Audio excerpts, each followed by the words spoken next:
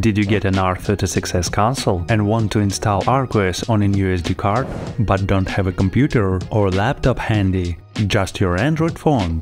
Perfect, that's more than enough. In this video, I'll walk you through each step of installing ArkOS on the R36S console using only your Android phone. But before we get started, please like this video and subscribe to the channel. For this example, I'll be using my old phone. If it can handle this, then this tutorial will work for you too. During the setup, we'll also need an USD card, like a 32GB one, the R36S console, and a USB Type-C card reader. You can choose any card reader, I have a couple of examples here. If you don't have one, you can pick one up on AliExpress by the link in the description box. For more info on which SD card to choose, check out the video linked in the description box. The first step in installing the firmware is to identify the screen version on the R36S console. To do this, I'll remove the default SD card from the first slot and put it in the card reader, then connect it to the phone. Next, I'll go to the firmware site and click on the tool link to check the screen type. This link is in the description box. To check the screen, I need to load this file from the SD card's boot section. I'll tap Choose File, select the boot section on the SD card and choose the file. Then I tap Identify my screen. At the bottom of the page, the message will show my screen type original, but this is in my case, since I bought the console a long time ago, and you may have a screen panel 4, remember your screen version. Now we can take out this SD card from the phone and set it aside, as we won't need it again. Next, download the ArkOS system file from the R36S. You'll find the link to the GitHub page with the latest ArkOS version in the description box. Here, you'll see links for consoles with the original screen and with panel 4. Download the firmware that matches your screen and console.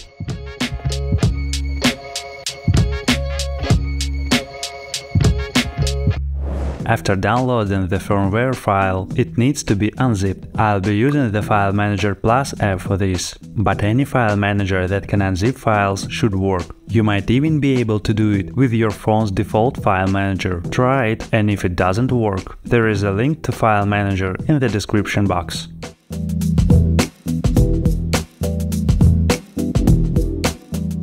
Once I unzipped the firmware file, I got the installation file for ArkOS. Great! And before we continue, please like and subscribe to the channel and leave a comment. This helps me promote the channel. Also, you can click the bell icon so you don't miss any new videos. Thank you for your attention. Let's continue. Now I'll take the USD card that will install the firmware on, put it in the card reader and insert it into the phone. Then I go to the File Manager menu, tap the three dots next to the SD card and select Settings. Here I go to Format to format the SD card. I tap Erase and Format. After formatting, we move on to the next step.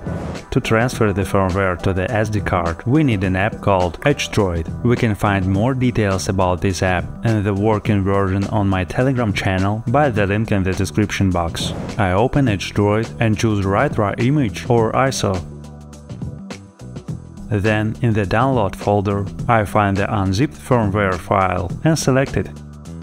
After this, I choose the card reader. On the screen, we can see that the program is about to write the ArkOS firmware to the SD card. At the bottom, I tap Start Operation and select Flash Image. The app will minimize and we can monitor the writing process in the notification bar. This can take a while, so be patient. When it's finished, you'll get a notification. If it doesn't appear, something might have gone wrong. I recommend reformatting the SD card again, closing all apps and trying the process again.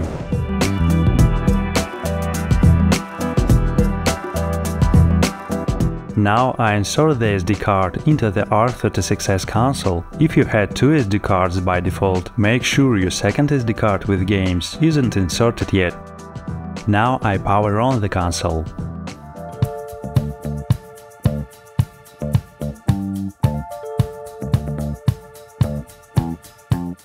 The device will reboot twice as it expands the NTFS partition and converts it to exFAT, filling the entire microSD card. When you see the emulation station menu, the device is ready to go.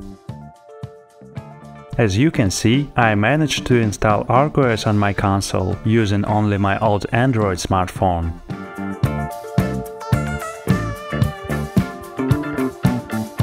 I only needed two additional apps for setting up ArkOS on the SD card, File Manager and EtchDroid.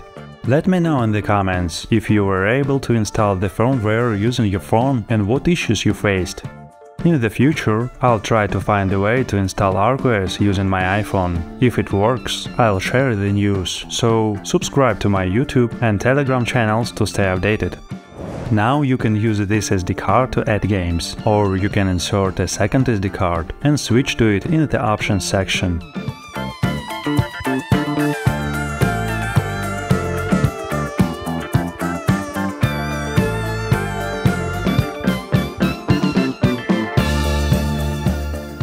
The console will automatically prepare the second SD card for game storage.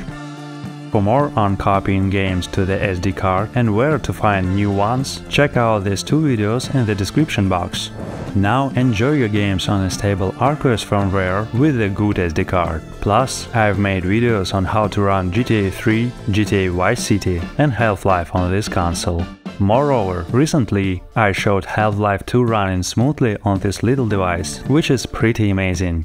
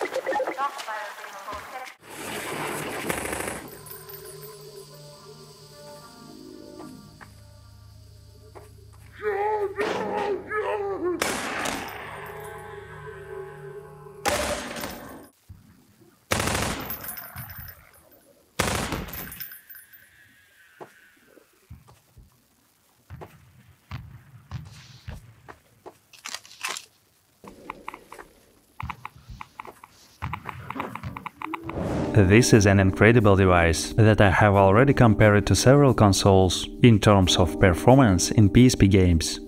If you want to learn more about what your R36S console can do, check out this helpful video linked in the description box. I hope you enjoyed this video, please like and subscribe to the channel. I wish you pleasant nostalgia and successful completion of your favorite games.